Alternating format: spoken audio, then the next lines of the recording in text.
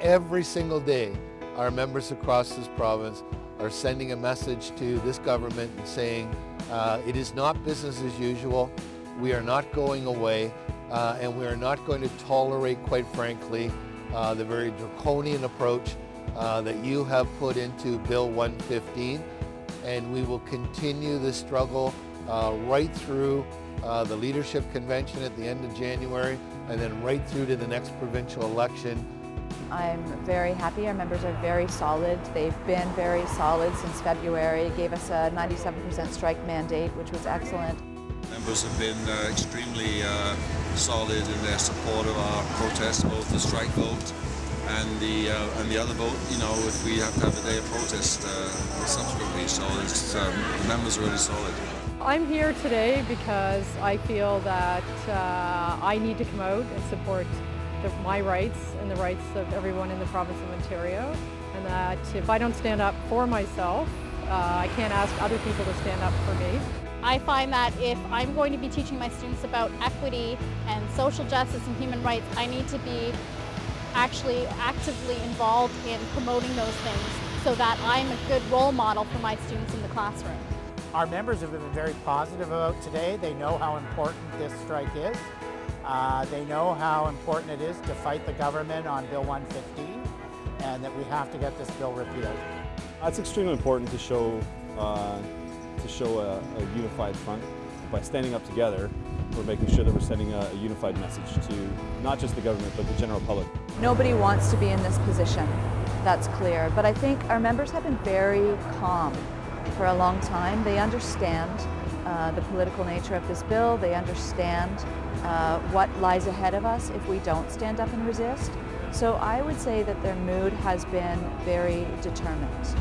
They are solid. Their resolve on this issue uh, and standing up against Bill 115 uh, and the, the approach that this government has taken uh, has been uh, very humbling for me, uh, but exciting at the same time uh, because they are standing up for their rights and their collective agreement. If, if we don't take a stand, if we don't stand up for democracy, then, you know, what's the future? In such a positive vibe here. People really get the issues and got good support from our colleagues in labor, good support from people going by, so it's been great. I think a, a, day like today helps to keep the momentum going because we recognize that this is not finished today. That really uh, this is an ongoing fight and we're going to need to stick together and support each other. So a day like today does that very well. I think it brings them a little bit more solidarity, a little bit closer to the union, and that whole introduction piece for some very new members that just started back in September of 2010. You're in the union and here we are. Uh, the mood has been fantastic. Teachers are, uh, the morale is, is very uh, is very high. And it has been an incredible show of solidarity and the horns that you hear honking, I've, I've heard them everywhere. It's incredible the amount of public support there have, uh, have been for teachers on the line. The support has been amazing. We've had a lot of kids, uh, a lot of parents stop by this morning and, and stop with us and walk the line with us. We've had a lot of uh, cars and buses and everybody passing and honking and waving and they've been really supportive. Our local membership is absolutely supportive. They've been fantastic. They've come out to every meeting. They are uh, more than happy to join in the, the marches, the walks, the rallies. They've been down at Queen's Park and uh, they're very, very supportive.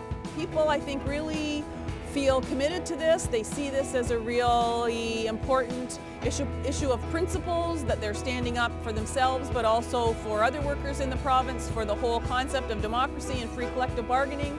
Um, I think they get that big time and, you know, sure, nobody wants to be out on the street, but I think they're very, feeling very proud of standing up for the things that they believe in and hold so dear. We are here today